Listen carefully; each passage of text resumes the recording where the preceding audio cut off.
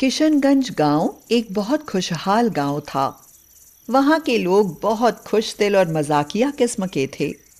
लेकिन गाँव की खुशी को उस दिन ग्रहण लग गया, जब एक दिन अचानक से गाँव में चार लोगों की हत्या हो गई। बहन, सुना तूने कि गाँव में किसी ने चार लोगों की हत्या कर दी है? हाँ बहन मैंने भी यही सुना है और लोग तो कह रहे हैं कि किसी भूत ने मारा है उन चार लोगों को। अच्छा तुझे कैसे पता कि भूत ने मारा है उनको? तुझे नहीं पता कि उन चारों लोगों के शरीर कैसे नीले पड़ गए थे? ऐसा कोई इंसान तो नहीं कर सकता। अगले दिन भूत फिर से गाँव के दो और लोगों की हत्या कर देता है। गाँव के लोग दहशत में आ जाते हैं। सभी और भूत की चर्चा होती है। देखा आज फिर से उस भूत ने एक और जने की हत्या कर दी। अरे सुशीला तू डर मत वो तुझे नहीं खाएगा। तुझे खा के भूत को अपना पेट थोड़े ही खराब करना है। हाँ बिल्कुल ठीक बोला बबलू ने। और अगर वो तुझे खाएगा तो वो बेचारा भूत तो बदबू से ही मर जाएगा। चुप करो तुम दोनों मेरा मज़ाक बना रहे हो। जब भूत आएगा ना सामने तब देखूँगी तुम दोनों को। सुशीला अपना मज़ाक बनते देख अपने घर के अंदर चली जाती है। अरे छोड़ो सुनीला वो तो डर के मारे घर के अंदर छुप गई। कोई भूत वूत नहीं है किसी ने अफवाह फैला रखी है। नहीं बबलू मैंने कई लोगों की लाशें देखी हैं पर जैसी लाशें मैं अब देख रही हूँ ऐसी मैंने पहले कभी नहीं देखी। मैं तो तुझे बहुत बहादुर समझता था। तू भी डरपोक निकली। मैं देखता हूँ, कौन मुझे मारता है। गाँव में फिर से वही भूत निकलता है और भूत के रास्ते में जो आता है, भूत उसे मारता चला जाता है।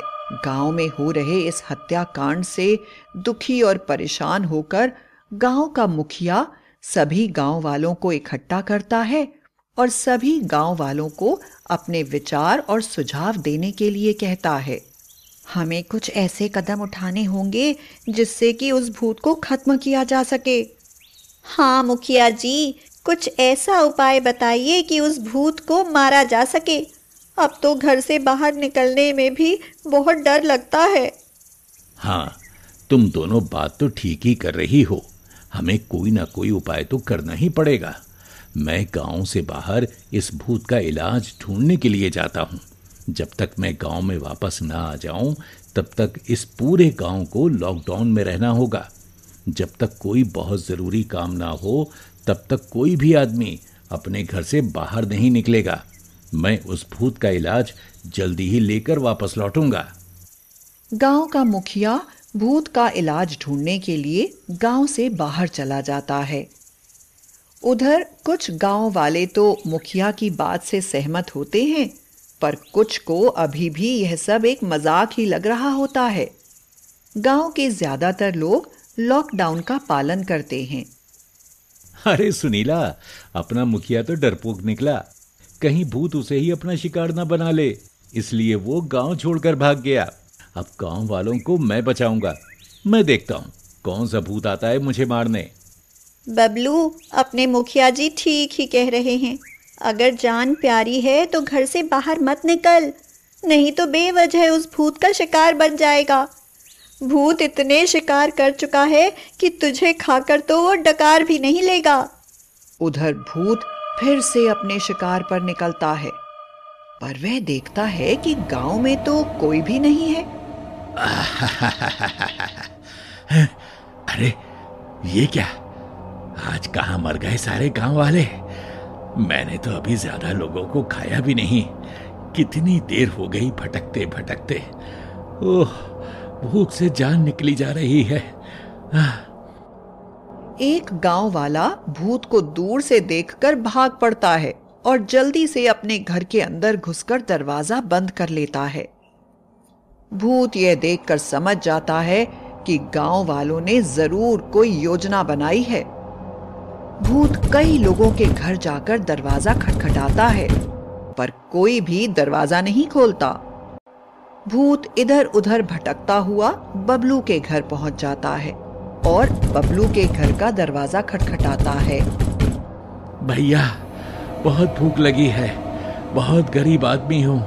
कुछ खाने के लिए दे दो। दरवाज़ा खोल दो। अरे भैया, पूरे फंसे। ये तो सच्ची में भूत है।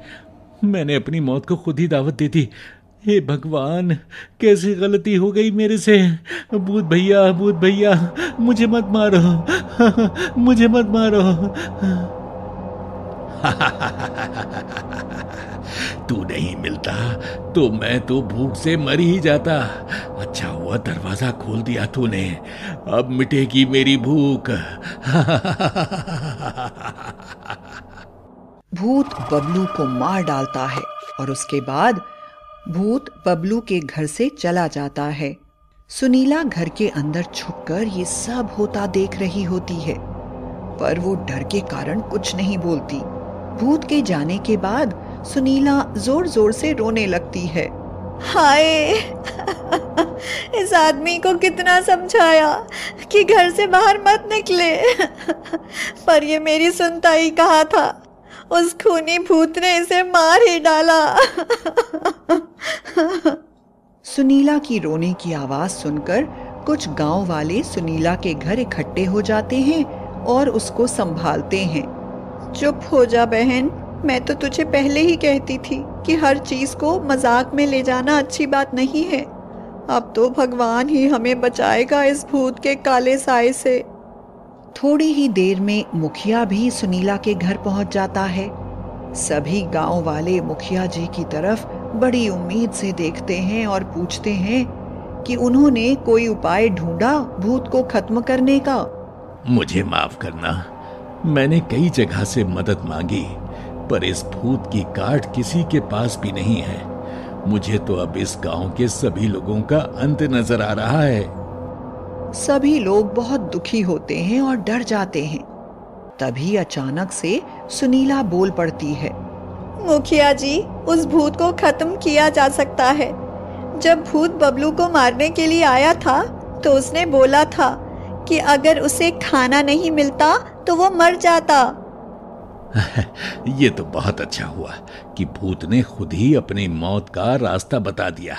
सभी गाँव वाले ध्यान से सुनो चाहे कुछ भी हो जाए, आज से कोई भी गाँव वाला बाहर नहीं निकलेगा। पूरे गाँव के लोगों को लॉकडाउन में ही रहना होगा।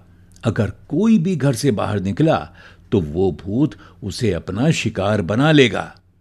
गाँव के सभी लोग मुखिया की बात से सहमत होते हैं और लॉकडाउन का पालन करते हैं।